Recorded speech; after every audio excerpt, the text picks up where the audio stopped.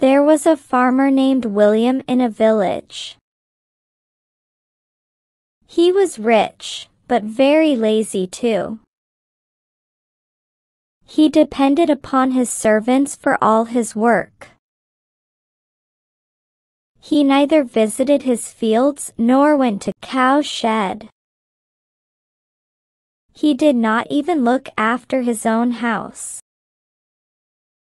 In fact, William used to avoid all work due to laziness. Consequently, the production of his crops decreased. Milk production was also affected badly. Even his house was also not maintained properly. He was quite indifferent towards all his affairs. He always put the responsibility of his failure on others. One day his friend Tony came to him. William told his friend, I am not as rich as I was before. I am facing loss in everything. What should I do now? Tony knew that his friend was lazy and was quite aware of his laziness. So, he said to him, I advise you to have a view of the white swan. William said, How can I have the view of the swan?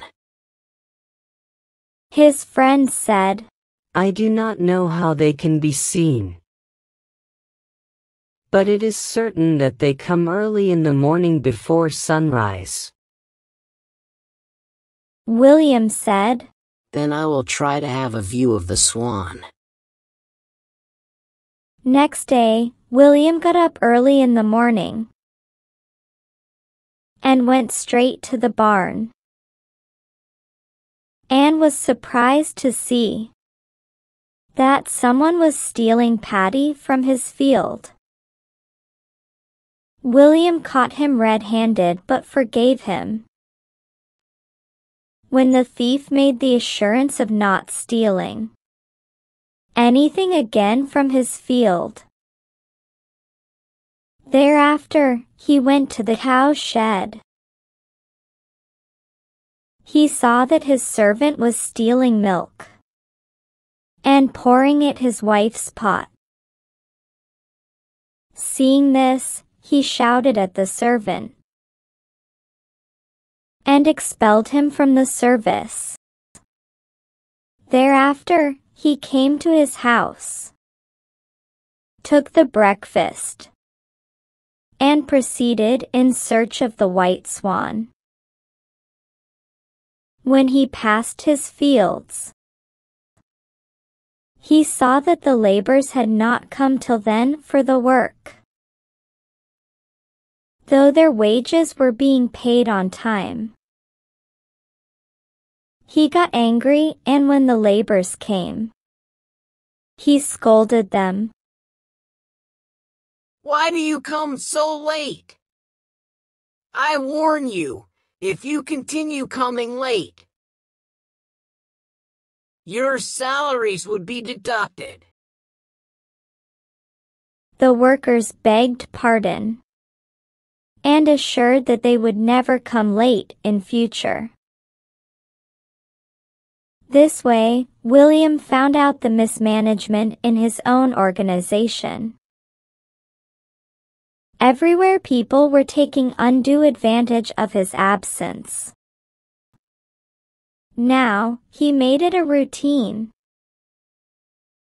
to take a round of all of his working places, farm, cow shed, house, etc.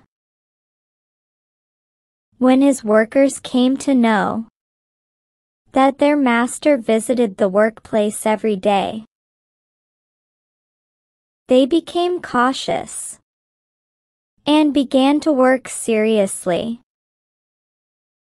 So, the production of both the crops and the milk increased. He became rich again. Now, he understood why his friend talked about the white swan and about the time of its appearance. This was all planned to keep him active. He went to his friend to thank him. William showed his gratitude to his friend and said, I am thankful to you for making me rich again. His friend Tony said to him, No thank you in friendship. I always want to see you happy. Now you have quit laziness and have become active again. My story of White Swan has become true. Hard labor is the white swan about which I was telling you.